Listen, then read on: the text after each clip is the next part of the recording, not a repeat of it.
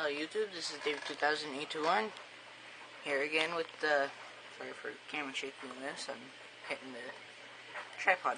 Um, but yeah, I'm back again with the Tetrafauna Viquarium. This is the reveal. As you can see, the water's a little cloudy, but that's because I just put some sand in there and some gravel that I had laying around the house in bags, and I got the sand wet before I put it in there, so yeah. There's that goldfish that's missing an eye. It's kind of creepy. I got my two cherry barbs in there as well, and that guppy that I've had since I've had the stinking crawdad. That guppy was supposed to be eaten, but it didn't get eaten. There's that little moon rock hide. I'll get you guys a bit higher.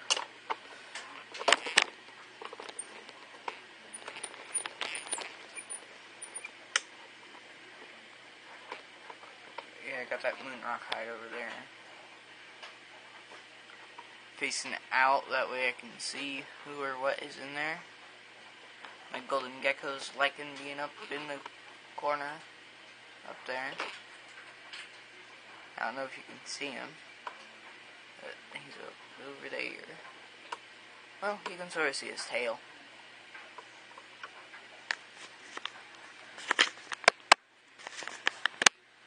Glass is kind of glaring. I'll turn off this light. There we go. That's better. Somewhat better, at least.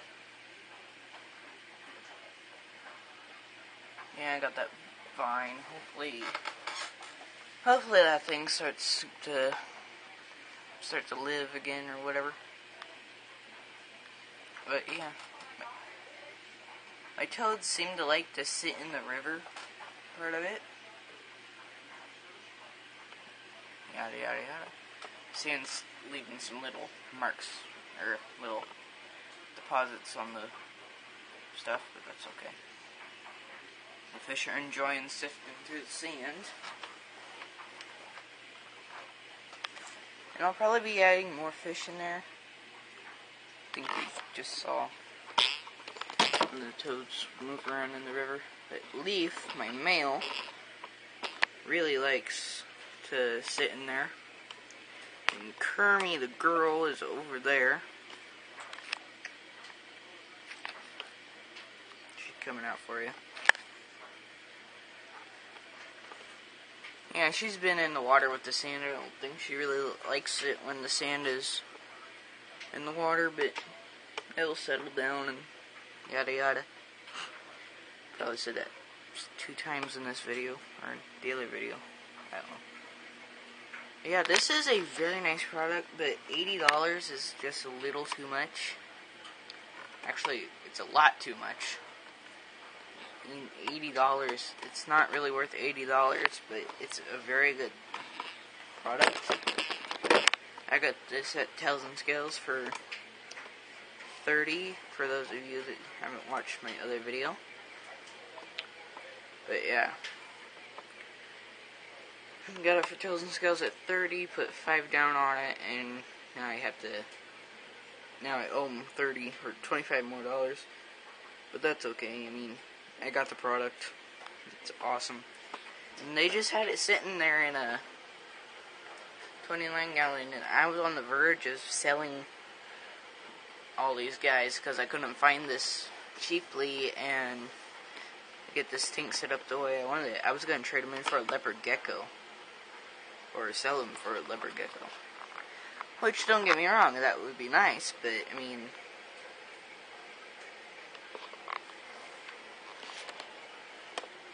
I don't know. But yeah, it's real nice and it's quiet. It has a little bit of a hum to it, but my air pump on my fish tank, I can hear more than this. And the current's not too strong. It's a little strong for my firebelly newts. And I put him up here about where the waterfall reaches the river. And he just got washed away. Every time he took a step, he would go and he's like, oh my god! It's just kind of funny to watch, but.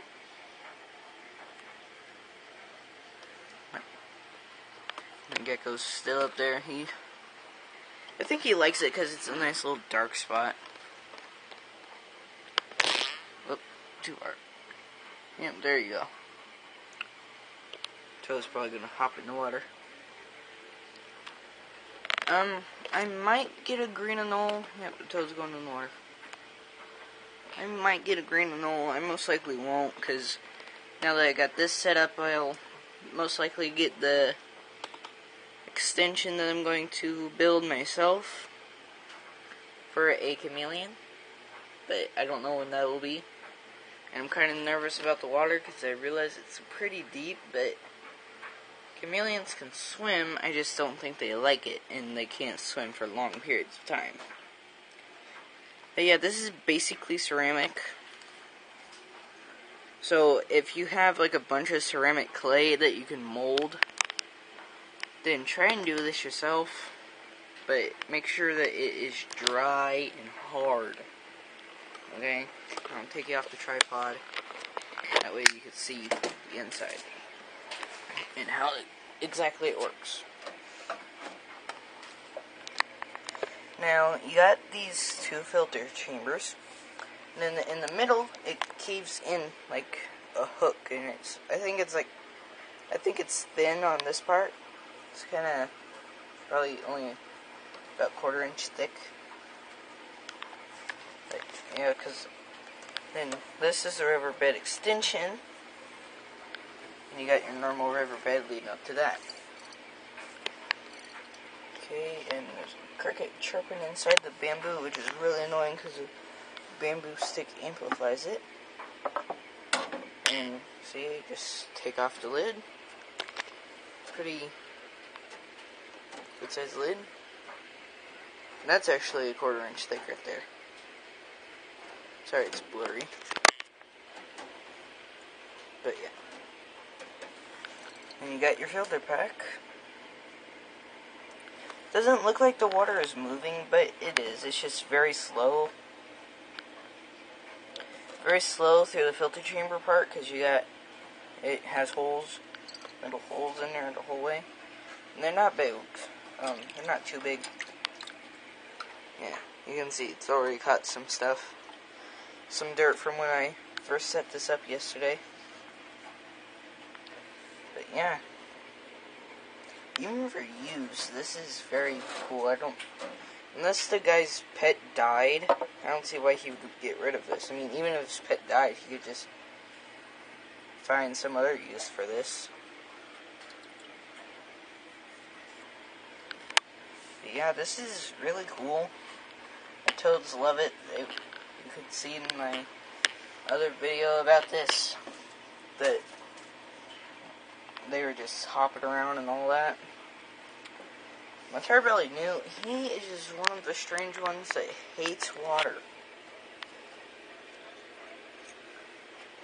Looks like, oh, that one of baby jade plants got knocked over.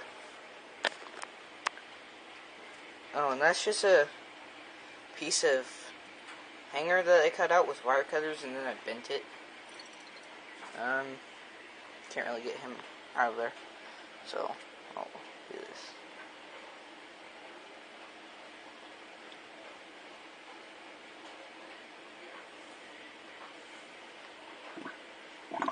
He's stubborn. There you go. I got him out, now he's angry at me. Yeah, you can see, he's just one of strange ones that doesn't like water. Sometimes I can get him to stay on the bottom. But yeah, I got that little hide right there holding down this piece of vine. Where'd he go? There he is. Come here. Come here, little guy. Oh. Trying not to grab you by your tail. Yeah, here's my fire belly. See if I can get him to settle down on the bottom. Sorry. But yeah, that's how I basically do it. I just sort of hold him there. And he sometimes, sometimes, and only sometimes, he'll just settle down onto the bottom and walk around. Today he's not feeling like doing that. I'm reveal my gecko.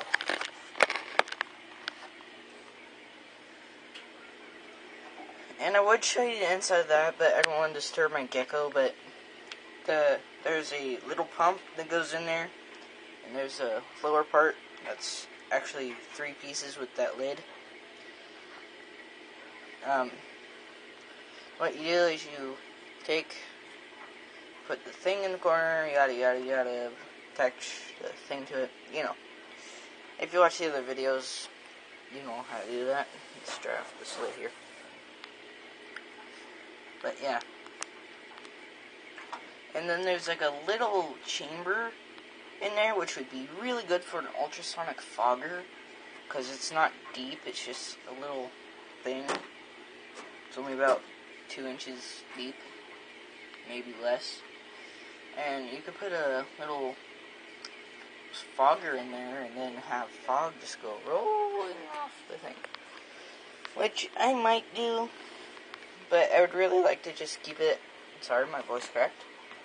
Um, I really like to just keep it at two plugs because I also got my fish tank and my radio plugged into that, and that's all going to one outlet, which is kind of dangerous, especially in a um, trailer or not trailer, uh, mobile home. I don't know exactly what's called, but yeah, this is definitely a thing that if you see it for less than eighty dollars,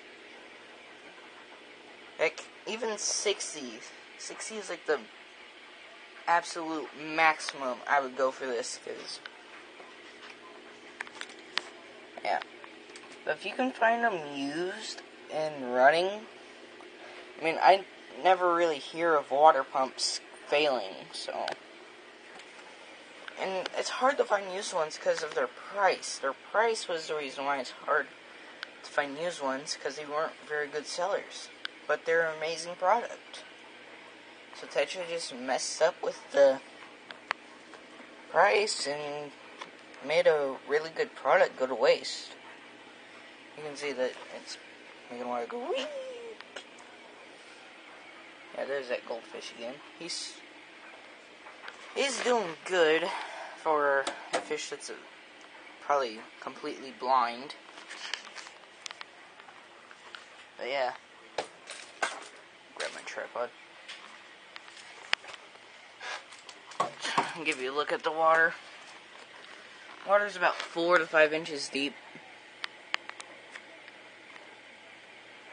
Looks really good with that gravel in there.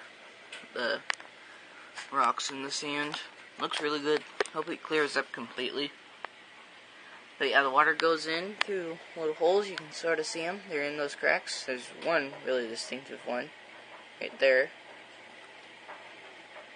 And yeah, the water gets pulled through, goes through all these rocks, and basically catches everything. And I like to put some biological media and filter media into one of into either the pump into the filter chamber or just randomly place it inside the gravel. But yeah, there's the goldfish. Let you get a good look at him. Look at that. Completely gone. Then the other eye's looking pretty bad and his fins are all messed up. Somebody really got him in that 30 gallon. Give you guys another whole tank view. So, so this has been David 2000 821 over and out with a Tetrafauna review. And I'm not gonna I'm not gonna do a review on my MP3 player because I've really actually never had one, which is kind of weird. But yeah, I'm not gonna do a review on it. But it's really good. It has four megabytes and or gigabytes. Know. And all that. But yeah, guys, definitely definitely get this. And by the way, I'm also going to get the frog moss at the frog moss from Zoo Med, the 80 cubic inches. That way I can really pile it up if I want to, or have to. And 80 cubic inches might actually be not enough. I'm not quite sure. I'm quite sure it would be. If I had a little leftover moss too, that's fine. Could put it on that piece of cork bark. But yeah. Or even on top of the lids.